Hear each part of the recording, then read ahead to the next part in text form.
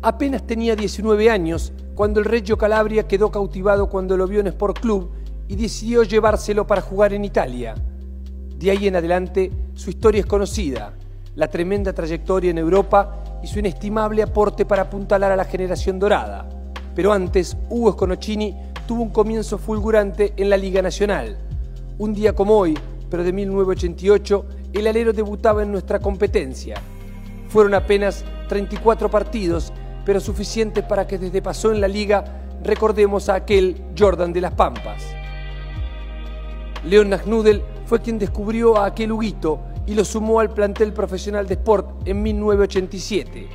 Así lo recuerda Mariano Aguilar, jugador histórico de la liga y protagonista de aquel primer reclutamiento de León que incluyó a Nicola, Rifati, Trentini, Monela y el Chunimerlo. Una tarde, León va caminando hacia la cancha de básquet pasa por el playón, acompañado por un dirigente. Estábamos todos entrenando, preparándonos. En esa época se entrenaba en verano. Y había un gordito tirando al aro en el playón. ¿Quién es? preguntó León. No, León, es el hijo del Kiko Esconochini, vive acá a tres cuadras del parque. Un gordito. León lo miró, lo miró, lo miró. Mañana empieza a entrenar. Esconochini recuerda bien aquel momento, ese primer contacto con el profesionalismo y aprovecha para agradecer al creador de la liga.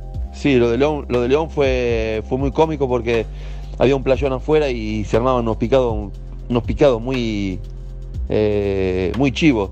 Y un día me dice, a ver, levantate esa remera. Y me levanto la remera y me dice, estás gordito, así que bueno, de mañana vas a entrenar con nosotros.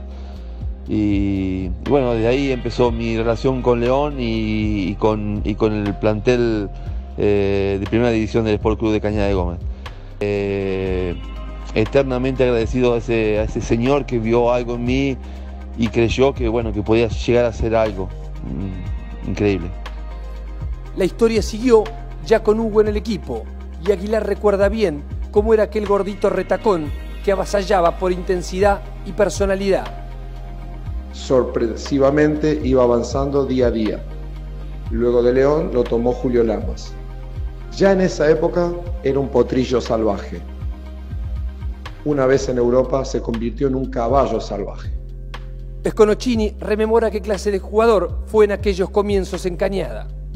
Salvaje, un jugador con, eh, con, eh, con, pocos límites. Eh, me gustaba me gustaba correr la cancha, me gustaba encontrar tiros rápidos, tiros fáciles. Nunca le di mucha bolilla al tiro de la, larga distancia.